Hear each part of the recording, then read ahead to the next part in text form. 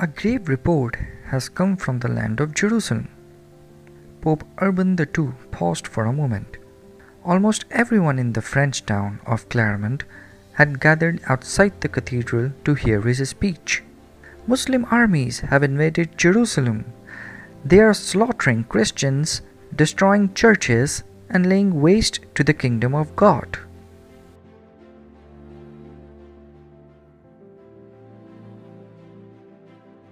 The crowd gasped, horrified by the image of the holy city destroyed by Saracens, the name they used to describe Muslims.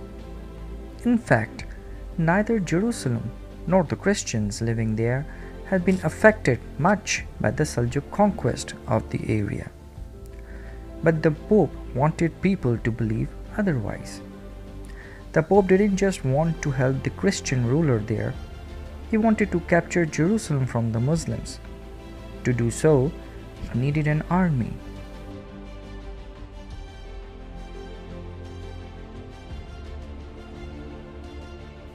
Christians of Europe, the Pope urged, you have sworn duty to protect the holy city.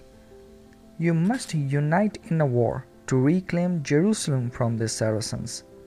One of the bishops among the crowd stepped forward and kneeled before the Pope.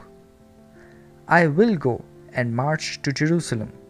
Suddenly, several others in the crowd raised their hands, cheering, March to Jerusalem! March to Jerusalem! God wills it! God wills it! It was the November 27, 1095, and the Pope had just launched a holy war.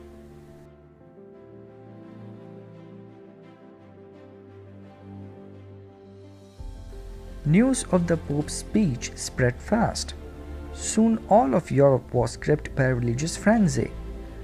People have started shouting in the streets, Saracens have invaded Jerusalem, march to reclaim the holy city.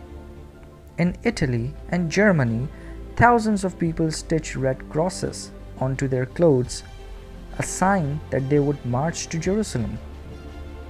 In his speech at Clermont, the Pope had promised that whatever sins they have committed on this holy war would be forgiven.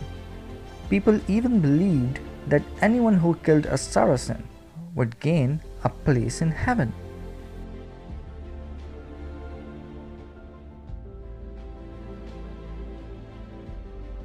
To most knights, the temptation of the Crusades were irresistible. These men were the sons of wealthy nobles who had trained since childhood to fights. But for poor people who wanted to join the crusade, there was no reason to wait. Life for them was terribly hard. Rats and fleas spread diseases in the crowded streets.